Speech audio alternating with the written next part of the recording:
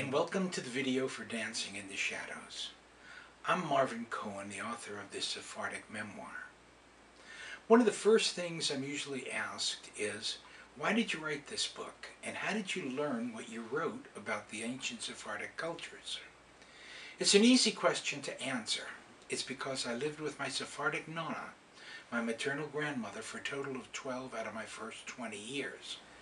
I didn't know it at the time, but when I was growing up in the 1940s and 50s, the Sephardic cultures in America were fast becoming extinct. Nona understood this and tried to entrust me with the preservation of her Sephardic traditions through living it and telling me about our history. I felt compelled to write Dancing in the Shadows, to try to bring to life the lost Sephardic cultures I experienced while living with Nona. Dancing in the Shadows follows Nona's life from her childhood in Macedonia in the Ottoman Empire through her death in America in 1966. It's my novelized treatment of the multitude of generations that make up my unforgettable family.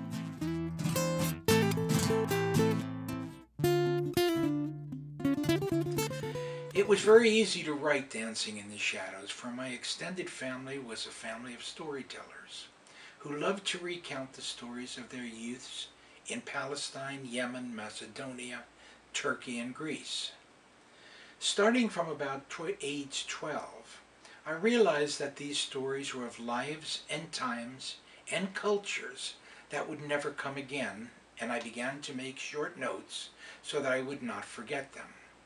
I took hundreds of these short notes until I was about 60 years old.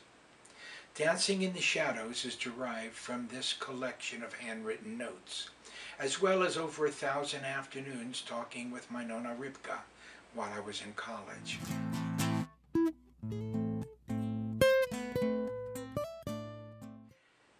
You see, it was while living with Nona for the first eight years of my life that I began to realize that my family was very different from the majority of other Jews who were light-skinned European Ashkenazis in New York.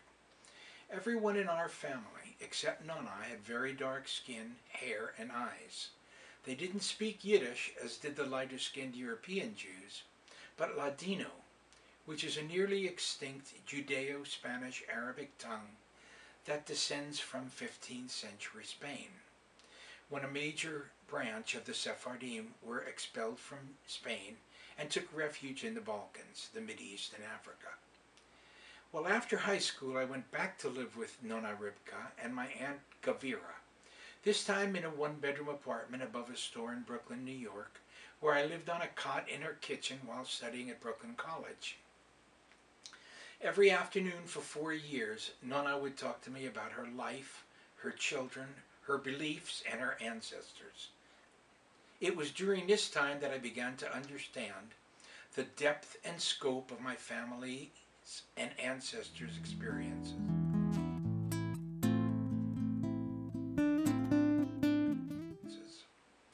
During my college years, Nona taught me about intra-Judaic discrimination. Though little known, even inside American Jewish circles, Dark-skinned Sephardim have often faced discrimination by lighter-skinned Jews from Western Europe. This occurs even in Israel, where most political power resides with light-skinned Ashkenazi Jews. This discrimination also arises from the fact that Sephardic cultures, traditions, and dress are so different from Western Jews that their and their oral rather than written tradition of passing knowledge from one generation to another seems to Westerners to be an inferior method of relating history. I learned that this discrimination is so very important in Judaism because Sephardic Jews include peoples from every corner of the earth, so many different traditions, cultures, and skin colors that they shatter the common myth of a Eurocentric American Jewish community. Sephardic peoples include Bukharian Jews from Uzbekistan and Tajikistan, Beta Israel of Ethiopia, Bene Israel and Cochin Jews of India, Kaifeng Jews of China, Juhurim Mountain Jews of Azerbaijan, the Igbo of Nigeria, and the Lemba of Malawi. And this is just a partial list.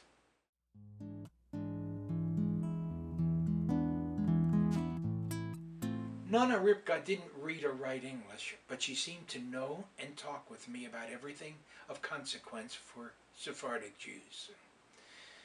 She told me many things that I had never even dreamed of and still find hard to believe about the heroic roles of many Albanian Muslims, for example, who saved Jews during the Holocaust, hiding them in their farms and homes, giving them passports, about how IBM gave computer aid to the Nazis during World War II to keep the Nazi manufacturing effort efficient and to keep track of Jews in Western Europe.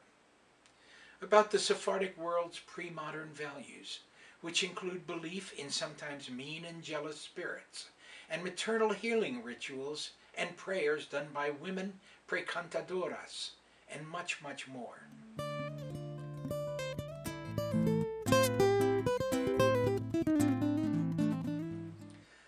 Like many Levites in Yemen, my maternal grandfather, Abraham Levi Wab, could trace his ancestry all the way back to Aaron and Moses, right through the third century Yemenite Himyarite kingdom, which was ruled for a hundred years by three Jewish kings.